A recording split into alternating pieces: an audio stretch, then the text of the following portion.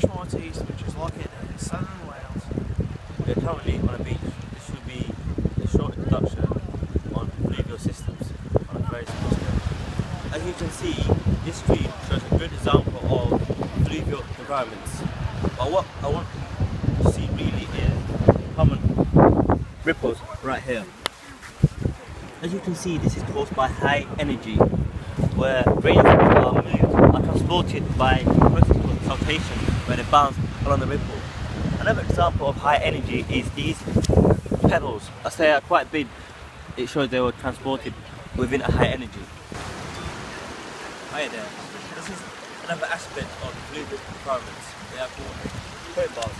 It's where I'm standing right now. So yeah, point bars are created during the period when level in the river is lower than usual.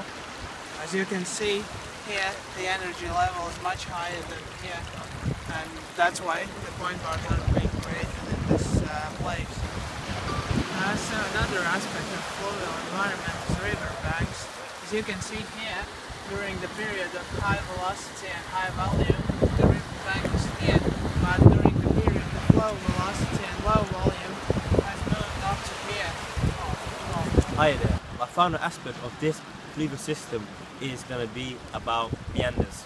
As you can see, meanders are caused when it erodes the bank, as seen here. This is in high energy, whereas low energy, it deposits. As you can see, further erosion and deposition of this system will cause oxbow lakes.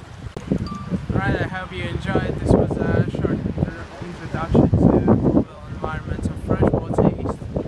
And yeah, His name is Martin. My name is Abdullah. Shout out the guy behind the Haddi.